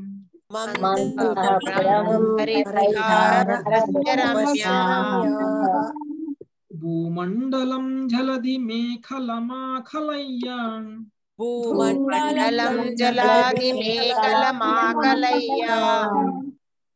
కాలోపసృష్ట్యం ఇతి సప్రయాయో విశాలం. సమ్మితి సప్రయాయం కనిష్ట మంత్రి చదువుతారా హరే కృష్ణ ప్రభు. ఆ విధంగా ఆ విధముగా ధ్రువుడు చివరకు సమస్త భూమండలమును ఆవరించినదయు మహాసముద్ర పర్యంతమైనదయ్యు నవ్వు త- తన రాజ్యమును విడిచెను. తన దేహము భార్యలు సంతానము బంధువులు సైన్యము సమృద్ధవంతమగు కోశము సుఖవంతములకు అంతఃపురములు విహార స్థలము అన్నీయు మాయా జనితములని అతడు భావించాను. ఆ రీతిన అతడు కొంతకాలం నాకు హిమాలయములందరి బదరికాశ్రమ వనమునకు జనెను. అంటే ఇంద్రియ పటుత్వం ఉన్నప్పుడే ధ్రువుడు తనకు ఉన్నటువంటి భౌతికమైనటువంటివన్నీ కూడా చివరికి తన బంధాలతో సహా ఇవన్నీ కూడా శాశ్వతం కావు అనేటువంటి విషయం తెలుసుకున్నాడు. తన భార్య తన పిల్లలు తనకున్నటువంటి మనవళ్ళు మనవరాళ్ళు తనకున్నటువంటి రాజ్యం తనకున్నటువంటి ఉద్యానవనాలు తనకున్నటువంటి ఆస్తులు పాస్తులు ఇవన్నీ కూడా అశాశ్వతం ఇవన్నీ కూడా మాయా అని చెప్పేసి ఆయన తెలుసుకున్నారు. ఇంద్రియ పట్టుతో ఉన్నటువంటి వాడు ఇలాంటివన్నీ అనుభవించాలి అని కోరుకుంటాడు. కానీ ఆయనకి అనుభవించాలి అనేటువంటి కోరిక లేదు. అవన్నీ కూడా మిథ్యా అని తెలుసుకొని దాన్ని వదిలేసి ఆయన బద్రికాశ్రమానికి వెళ్ళిపోయారు. చదవండి భాష్యం. జీవితారంభమున భగవద్ అన్వేషణకై అరణ్యమున కేగినప్పుడు దువుడు దేహ దేహపరముకు సౌఖ్యములన్నీయును మాయా జనితములను తెలుసుకొనగలిగాను. కానీ మొట్టమొదట అతడు తండ్రి యొక్క రాజ్యమును కోరి దానిని పొందుటకై భగవద్ అన్వేషణకు వెడలను. ఆయనను సమస్తము మాయా జనితమే అని అతడు పిదప తెలుసుకునేను. మనుషుడు ఏదో విధముగా కృష్ణ భక్తి భావనాయుతుడైనచో భగవత్ భగవత్కరుణచే చివరకు సత్యమును అనుభూత అనుభూతమనుర్చుకొనగలడని ధ్రువుని కార్యముల ద్వారా మనము తెలుసుకొనవచ్చును. ఆది ఎందు ధ్రువుడు తన తండ్రి రాజ్యముపై అభిరుచి కలిగి ఉండెను. కానీ తదనంతరము అతడు గొప్ప భక్తుడు అయ్యను. అప్పుడు అతనికి భౌతిక భోగానురక్తి నశించెను. ఈ విధముగా జీవన పూర్ణత్వమును కేవలం భక్తులే సాధించగలరు. ఒకవేళ భక్తుడు భక్తి యోగమునందలి అత్యల్ప శాతమునే పూర్తి చేసి పిదప పత్రము చెందినను కామ్య కర్మ కామ్య కర్మ కామ్య కర్మరతుని కన్నను శ్రేష్ఠుడై ఉన్నాడు హరే కృష్ణ. హరే కృష్ణ. ఇక్కడ ధ్రువుడి గురించి ఇంకొక విషయం చెప్తున్నారు. అన్ని సౌఖ్యాలని వదిలేశాడు. ఇదంతా కూడా మాయా అనేటువంటి విషయం తెలుసుకున్నాడు. అందుకనే అవన్నీ కూడా వదిలేసి వెళ్ళిపోయారు. అందుకనే మనము ఇప్పుడు ధ్రువుడు చూడండి. ధ్రువుడు ఐదు సంవత్సరాల వయసులో ఉన్నప్పుడు భౌతికమైనటువంటి కోరికతోనే ఆయన యోగం చేశారు. యోగిగా మారారు. అంటే అప్పుడు ఆయనకి తెలియదు ఏదైతే ఆయన కోరుకుంటున్నారో అది మాయా అది మిథ్య అది శాశ్వతం కాదు అనేటువంటి విషయం ఆయనకి తెలియదు అప్పుడు. కానీ ఆయన యోగిగా మారి భగవంతుణ్ణి అన్వేషణ చేయటం అనేది మొదలుపెట్టారు. అన్వేషణ చేసేటువంటి క్రమంలో ఆయన రియలైజ్ అయింది ఏంటి అంటే నేను కోరుకున్నటువంటి భౌతికమైనటువంటి కోరికలు తుచ్చమైనటువంటి కోరికలు ఇవన్నీ కూడా శాశ్వతమైనటువంటి ఆనందాన్ని ఇవ్వవు. అందుకని అవి నాకు అవసరం లేదు అనేటువంటి రియలైజేషన్కి వచ్చేసాడు కానీ భగవంతుడు ఆయనకి మనసులో ఉన్నటువంటి కోరికను తీర్చేశారు. కాబట్టి ఆయన భగవంతుడి యొక్క ఆజ్ఞగా ఆయన ముప్పై ఆరు వేల సంవత్సరాలు పాలన చేయటం అనేది జరిగింది. అయితే పాలన చేసిన తర్వాత కూడా ఆయన తెలుసుకున్నటువంటి విషయం ఏదైతే ఉందో అంటే భగవంత్ ఐదు ఐదు సంవత్సరాల వయసులో తెలుసుకున్నటువంటి విషయమే అది. అంటే భగవంతుడి యొక్క అనుగ్రహం వలన భగవంతుడిని ప్రసన్నం చేసుకోవడం వల్ల ఆయనకు అంతరం నుంచే అంత వేద జ్ఞానం అంతా కూడా వచ్చేసింది. అది తెలుసుకున్నటువంటి ఆయన డిటాచ్డ్గా అంటే అసంగత్వంతో ఆయన రాజ్యపాలన అంతా కూడా చేసేసారు ఇప్పుడు ఆయన దాన్ని వదిలేసి వెళ్ళిపోతున్నారు. అంటే దీని లాభం ఏమిటంటే మనకి భౌతికమైనటువంటి కోరికలు ఉన్నా కానీ దేవీ దేవతల దగ్గరికి వెళ్ళకుండా కృష్ణ భగవానుడి దగ్గరికి వెళ్తే వచ్చేటువంటి లాభం ఏమిటి అని అంటే భౌతిక కోరికలు తీరడంతో పాటు మనకి ఆధ్యాత్మికంగా కూడా కృష్ణ భక్తి భావనాయుతులం అవడం వలన మనము వాటి మీద అటాచ్మెంట్ లేకుండా ఉండగలుగుతాం. అంటే భౌతికమైనటువంటి కోరికలు తీరుతాయి కానీ వాటి మీద అటాచ్మెంట్ లేకుండా ఉండగలుగుతాం. అది కృష్ణ భక్తిలో ఉన్నటువంటి గొప్పతనం. అదే ఇతర దేవతల దగ్గరికి వెళ్ళారనుకోండి వాళ్ళ భౌతిక కోరికలు తీరుతాయి. కానీ వాటి మీద అటాచ్మెంట్ ఉంటుంది. ఆ అటాచ్మెంట్ ఏం చేస్తుంది అంటే మళ్ళీ మళ్ళీ జన్మలు తీసుకునేటట్టు చేస్తుంది మనల్ని. అందుకనే ఇక్కడ ఏం చెప్తున్నారంటే భౌతికమైనటువంటి కోరికలు ఉన్నా భౌతికమైనటువంటి కోరికలు లేకపోయినా ముక్తి కోసమే అయినా నువ్వు కృష్ణ భక్తి భావనలో ఉండాలి. కృష్ణ భక్తి భావన యొక్క గొప్పతనమే అది. భౌతిక విషయాల పట్ల అనురక్తిని నశింపచేస్తుంది వైరాగ్యాన్ని తీసుకొస్తుంది భక్తి యోగంలో ముందుకు వెళ్ళేలా చేస్తుంది భగవద్ధామానికి తీసుకువెళ్ళగలిగేలా చేస్తుంది. అంటే భౌతికమైనటువంటి ఆనందాలన్నీ తీరిన తర్వాత నువ్వు భగవంతుడి యొక్క ధామానికి వెళ్ళేటువంటి అవకాశం ఉంటుంది. నువ్వు భౌతిక కోరికలతోటి కూడా కృష్ణ భగవానుడి దగ్గరికి వెళ్తే.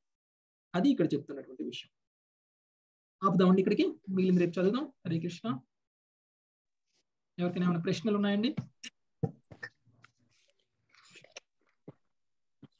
మాతాజీ సమరైజ్ చేస్తారా? ఎస్ ప్రభుజీ ప్రభుజీ ధ్రువుడు ధ్రువుడిది యుద్ధం ముగిసింది. మనువు కూడా సమాధానం చెప్పాడు. కుబేరుడు రావడం జరిగింది. కుబేరుడు ఏమని చెప్తాడంటే అన్ని కర్మలకి ఆధారం అన్ని కర్మల ఆధారంగానే జరుగుతాయి.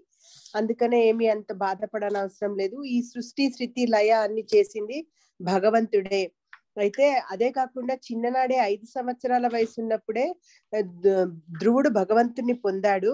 అందుకనే ఇతర దేవి దేవతలు అన్ని కోరి పొందారు కాబట్టి ఇతర దేవి దేవతల కోరికలు కూడా ఆయన తీర్చారు. కోరికలను కూడా ఆయనకి తీర్చారు అంట. అంటే భగవత్ సేవలో స్థిరంగా ఆయన ఉన్నాడు అని అర్థం. అయితే ఇంకా అంతేకాకుండా పద్మనాభుని నుండి ఆయన ప్రసన్నుడైనందుకు ఆ కుబేరు నుండి ఆయన వరాన్ని తొందరగా పొందగలిగాడు అని తెలుసుకున్నాము. అయితే కుబేరు అనుగ్రహము చాలా చాలా గొప్పది. ఎందుకంటే ఆయన ఏం చెప్తాడంటే ధర్మార్థ కామ మోక్షాలు అన్ని ఇవన్నీ నాలుగు పురుషార్థాలు ఏది కోరుకున్నా అవన్నీ ఇవి ఏవి తీరినా అది భౌతికమే. కాకపోతే ఈ ధర్మ అర్థ కామ మోక్షాలలో అన్నిటికన్నా గొప్పదైనది మోక్షము. అది అత్యున్నతమైనది అని దాంట్లో మనం ఇవాళ తెలుసుకున్నాము. అదే కాకుండా ఇంకా ఐదవ పురుషార్థము నాలుగు కాకుండా ఇంకొకటి ఐదవ పురుషార్థము భగవత్ సేవ. ఇదే కోరుకుంటారు. నిజమైన భక్తులు శుద్ధ ఇప్పుడు ఈ ఐదవ పురుషమైనటువంటి భగవత్ సేవనే కోరుకుంటారు అని తెలుసుకున్నాము. అయితే భక్తులు ఎప్పుడైనా కానీ మోక్షం కోరుకుంటారు. అయినా మో- మోక్షం వచ్చినా కానీ వాళ్ళు దాన్ని ఇష్టపడరు. అది నిజం కాదు అది నిజమైనది కాదు అని ఇంకా ఇంకా ఇంకా భగవద్ధామానికి వెళ్ళడానికి ఆ భగవంతుని నిత్యం సేవ చేయడానికే చూస్తారు. మోక్షం కూడా వాళ్ళకి నరకప్రాయమైనదే అని తెలుసుకున్నాము. అయితే ఉత్తమ శ్రేణి భక్తులే ఈ విధంగా మోక్షాన్ని కూడా తృణప్రాయంగా వదిలేసుకుంటారు అని తెలుసుకున్నాము. అలాంటి కేటగిరీకి వచ్చేవాడే ధ్రువుడు. ధ్రువుడు కూడా అలాంటి వాడే. కుబేరుడు ప్రీతితో ఆయనకి ఈ విధంగా వరం ఇవ్వాలనుకున్నాడు.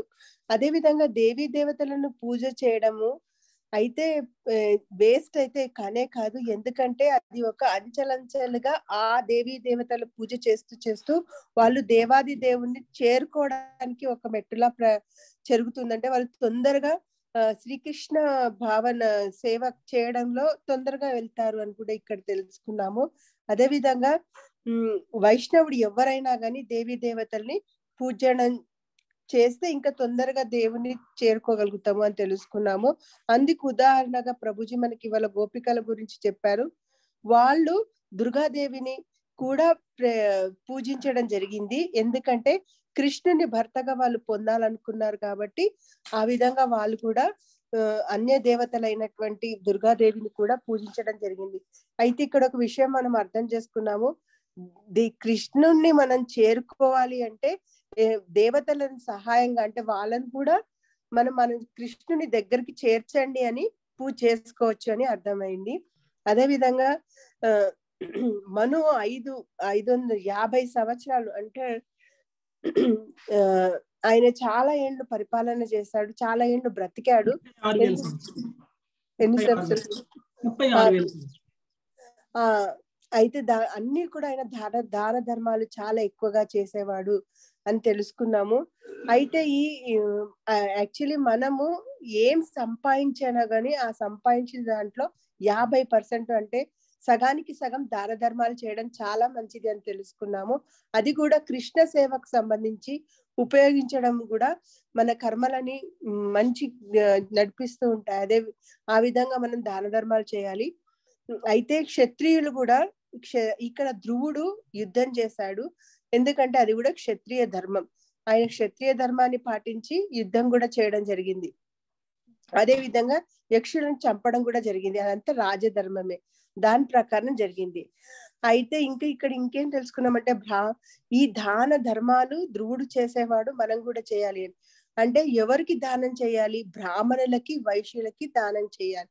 అది చేస్తే అప్పటి నుండి కూడా ఇది మనం తెలుసుకున్నాము. ఈ విధంగా ధ్యానం చేయడం ధ్యానం చేయడం వల్ల మన కర్మలు కూడా కొంచెం విముక్తి అవుతాయి. ధ్రువుడు కూడా అదే అదే విధంగా చాలా దాన ధర్మాలు చేసేవాడని తెలుసుకున్నాము. అయితే ఇక్కడ ప్రభుజీ ఎగ్జాంపుల్ చెప్పాడు ఏంటంటే రాజులు అంటే ఆ- కాలంలో రాజులు ఎలా ఉండేవాళ్ళు అంటే ఆదర్శప్రాయంగా ఉండేవాళ్ళు. వాళ్ళు యజ్ఞ యాగాలందరూ కూడా ప్రజల శ్రేయస్సు కోసం నిర్వహించే వాళ్ళు ప్రజలు ఏ పన్ను అయితే కడుతుంటారో ఆ పన్నుని సద్వినియోగం చేసుకునే వాళ్ళు బ్రాహ్మణులకు దానాలు ఇస్తూ దా- దాని వెంబడి యజ్ఞ యాగాలు చేసేవారు. కానీ వాళ్ళ ఇంద్రియ భోగాలకు మాత్రం అలాంటి డబ్బులు ఎప్పుడు ఉపయోగించుకోలేదు. కలియుగంలో మాత్రం అలా లేదు. ఎందుకంటే ఇప్పుడున్నటువంటి పొలిటీషియన్స్ ఏమైనా కానీ వాళ్ళ స్వ స్వ ఇంద్రియ భోగాల కోసం ఇలాంటి డబ్బులను యూజ్ చేసుకుంటుంటారు. కలియుగంలో కూడా ఇలాగే జరుగుతుంది. అందుకనే ఇప్పుడు మనకి శ్రీ చైతన్య మహాప్రభువు చెప్పినటువంటి యజ్ఞం ఏంటంటే హరినామ సంకీర్తనం. హరినామ సంకీర్తనం మనం చేస్తే మనకి ఎలాంటి డబ్బు అవసరం లేదు. కేవలము ప్రభుత్వం ముందుకొచ్చి ఇలాంటిది డబ్బులు లేకుండా చాలా పవర్ఫుల్గా ముందు జమానాలో ఉన్నటువంటి యజ్ఞాలకి సరి సమానంగా ఉన్నటువంటి అట్లీస్ట్ హరినామ సంకీర్తన చేస్తే చాలా మంచిదని తెలుసుకున్నాము. అదే విధంగా కొన్ని కొన్ని కొన్ని సందర్భాలలో దేవతలను పూజ చేయడం శ్రీ భగవంతుడే చెప్తాడు అల్పజ్ఞులు అంటారు. ఎవరైతే అన్ని దేవతలను పూజిస్తారో వాళ్ళని అల్పజ్ఞులని దేవాది దేవుడైనటువంటి శ్రీకృష్ణ పరమాత్ముడు కూడా చెప్పడం జరిగింది. అయితే ఇక్కడ ధ్రువుడు చాలా దాన ధర్మాలు చేశాడు. ఆ చాలా ఒక ఆయన కంప్లీట్ భక్తుడు. అయితే ఆయన ఏమీ కోరుకోలేదన్నమాట. ఆ ఏ విధంగా అయితే ఆయన కోరుకున్నవన్నీ తృణప్రాయంగా వదిలేసి భక్తి జీవితాన్ని ఆయన గడపడం జరిగింది. ఆ, అయితే ఇంకొకటి ఏంటంటే ధ్రువుడు ఎంత భక్తిలో మునిగిపోయాడంటే ఆయన ఏం చేసినా గానీ భగవంతుడి కోసమే. ఏ చేసినా గానీ భగవంతుని భక్తియుత సేవ ద్వారానే ఆయన చేయడం జరిగింది. ఆ, అన్- అలాంటి అయితే ఇంకొకటి ఆ, భక్తుడు కేవలము పూజనీయుడు అంటే భగవంతుడికి మాత్రమే తెలుసు భక్తుడికి మాత్రమే తెలుసు భగవంతుని ఏ విధంగా చేరుకోవాలి ఏ విధంగా చేయాలి అనేది మాత్రం ధ్రువుడి ద్వారా మనకు తెలుసుకున్నాము. ఇంకొకటి ఏంటంటే ఆ ధ్రువుడు ఈ విధంగా కా ధ్రువుడికి ఇంకా అదే కాకుండా దాన ధర్మాలు చేయడమే కాకుండా ఆయన ధీరుడు వీరుడు అది కాకుండా చాలా జాలికుండా దీనులను కూడా చాలా కాపాడేవాడు. అంటే జాలి కలిగినటువంటి వాడు అని తెలుసుకున్నాము. అదే విధంగా ఆ, ఆయన ఒక రాజ ఋషిగా ఉండేవాడు. అంటే అప్పుడు రాజ ఋషి అంటే వాళ్ళు ఆ యజ్ఞ యాగాలను చేసుకుంటూ ప్రజలందరికీ ఒక రాజు అంటే ఒక తండ్రి లాగా వాళ్ళు పరిపాలించే వాళ్ళు ప్రజలని కన్న బిడ్డల వల్ల చూసుకునే వాళ్ళు అలాంటి వాళ్ళనే రాజశ్రీ అంటారు. ధ్రువునికి కూడా రాజశ్రీగా పేరు రావడం జరిగింది. అంటే ఆయన రాజర్షి. రాజర్షి.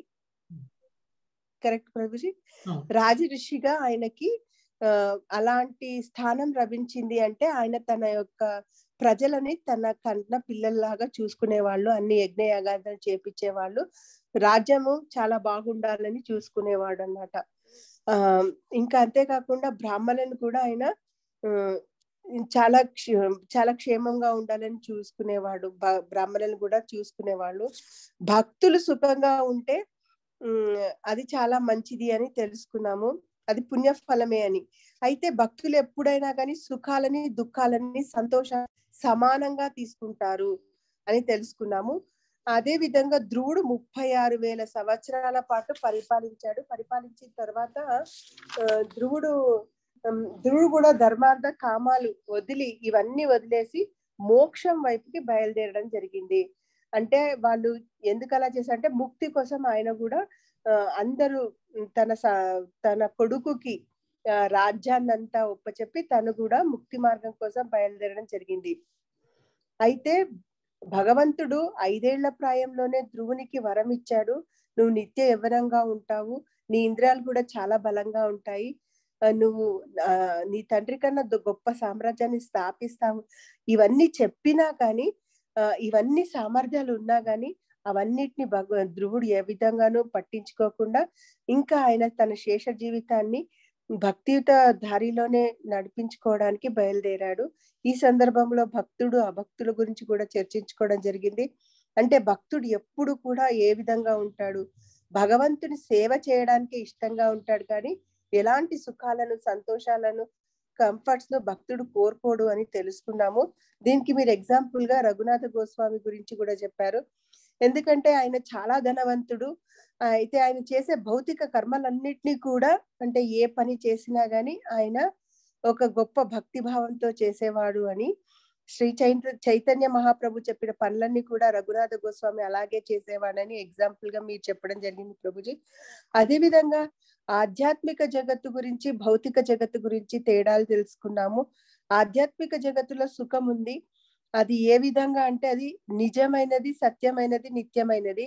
భౌతిక లోకంలో ఉన్నటువంటిది కేవలము భ్రమ మిథ్య అని మాత్రమే తెలుసుకున్నాము. అయితే ధ్రువుడు ఇక్కడ మళ్ళీ ఇంద్రియాలు అంత పటిష్టంగా ఉన్నాయి ఆయనకి. ఆ అన్ని ఉన్నా అన్ని తెలుసుకొని ఆయన ఏం చేశాడంటే ఆ అన్ని వదిలిపెట్టి ఎంత కేపబుల్గా ఉన్నా గాని వాటన్నిటిని ఆయన ఇవన్నీ కేవలం మాయ అని తెలుసుకొని ఇవన్నీ వదిలిపెట్టి ఆయన భద్రికా ఆశ్రమానికి వెళ్ళడం జరిగింది. అంటే మొదట్లో తండ్రి రాజ్యం కావాలని కోరుకున్న ఆయన తర్వాత ఏ విధంగా గొప్ప భక్తుడయ్యాడు ముప్పై ఆరు వేల సంవత్సరాలు ఏ విధంగా పరిపాలన చేశాడు ఇవన్నీ కూడా చేసి ఫైనలీ ఆయన ఏం తెలుసుకున్నాడంటే కృష్ణ భక్తి చాలా గ్రేట్ అనేసి ఆయన ఆ వెళ్ళారు అని తెలుసుకోవడం జరిగింది Prabhuji. Hare Krishna. Hare Krishna thank you very much